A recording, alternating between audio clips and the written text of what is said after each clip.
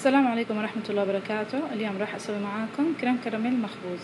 حلا سهل وسريع جدا ومفيد جدا لو أولادك ما بياكلوا بيض وبيشربوا حليب.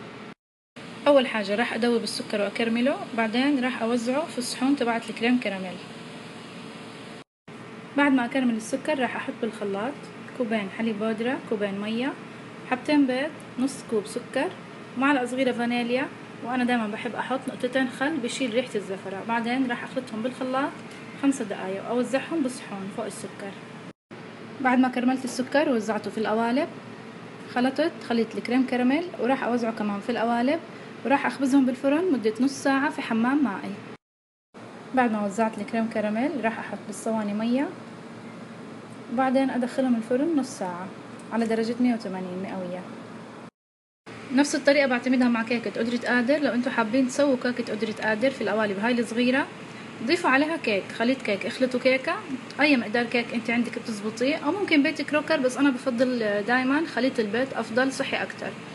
بتوزعوها على القوالب طبعا لا تكتروا الكيك. تخبزوها نص ساعة في حمام مائي. شكلها كتير بيكون حلو لما يكون هيك أكواب صغيرة. القوالب طبعا لو حابين قالب كبير الطريقة على الإنستغرام. دخلتهم الفرن طبعا حملته من قبل على درجة مية وثمانين راح أخليهم نص ساعة بعدين أطلعهم. لو حابين تسووا قالب كبير خلوه ساعة كاملة. خلاص كده استوى عندي الكريم كراميل بعد نص ساعة. راح أطلعه من المية علشان ما يستوي زيادة. لو استوى زيادة بتحسوه هيك بصير مفتت. فخلص كفاية. بس يبردوا شوية راح أدخلهم على الثلاجة